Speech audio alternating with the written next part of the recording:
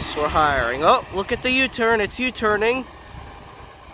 It's U-turning. Let's get it. We caught another bus U-turn on camera. Beautiful stuff.